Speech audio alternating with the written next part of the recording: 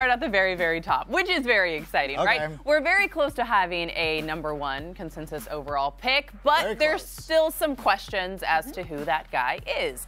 Adam Rank, I'm curious who your number one pick in fantasy drafts should be this season. Well, it comes down to two people. I think it's pretty obvious right there. And I'm going to go with the guy that I was talking about last year. Oh, yeah, miss all of you It was like, rank's never right. Last year, I told you to take Justin Jefferson. How'd that work out? And I'm telling you once again, take Justin Jefferson. One of the things that we love is wide receivers in heavy pass offenses. And I think one of the things with the Minnesota Vikings last year is that they were a good team. They won the NFC North, they went to the playoffs, but they were in a lot of close contests, which means they had to put the ball in the air a ton.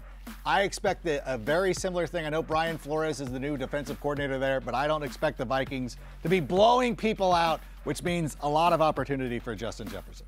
Okay, well, I'm going to take the other guy, right? That's The fine. Consensus Thank guy, Christian McCaffrey. We do have to note here that there's always a small injury concern, but that is actually true for every player. And this is the guy who I forecast to have the most volume in the NFL. You know what volume means? What's that mean? It means fantasy points. Oh! And you know what that means? It means he's going to beat you. And last year, I also told you to take Justin Jefferson. So now I'm telling you to take Christian McCaffrey. So now people can really decide do they want to listen to you or do they want to listen to They're me? not listening. The, America's divided. They're not listening It's a great me. divide. I could be the tiebreaker. You Let's do should it. be. Cindy, I like you more as a person. Let me get that totally out of the way. But I'm going to agree with Adam Rank here Oh. and taking Justin your Jefferson as the number one pick in uh, fantasy drafts this season. I think a thing that we've all kind of talked about looking at last season and into now.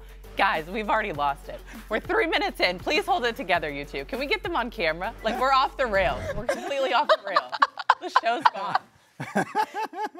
Three minutes in.